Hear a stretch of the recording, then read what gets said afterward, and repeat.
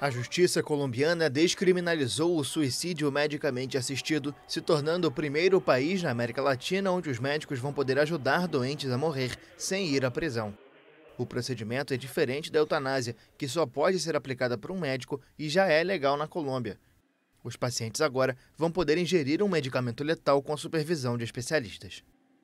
A assistência ao suicídio não vai ser um delito se o ato for realizado por um médico. Assim como na eutanásia, segue sendo um ato exclusivamente médico. A Corte Constitucional derrubou um artigo do Código Penal que punia com prisão quem assistia a um suicídio, até se a pessoa que decidiu morrer estava doente. De acordo com pesquisas, quase 70% da população colombiana concorda com a eutanásia, mesmo em pacientes que não estão em situação terminal.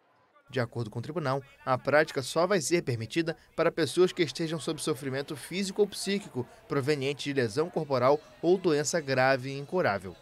São as mesmas condições vigentes para a eutanásia, que a princípio estava reservada para pacientes terminais, mas foi flexibilizado no ano passado pelo mesmo tribunal. Quem descumprir os requisitos segue sob o risco de pena de até nove anos de prisão.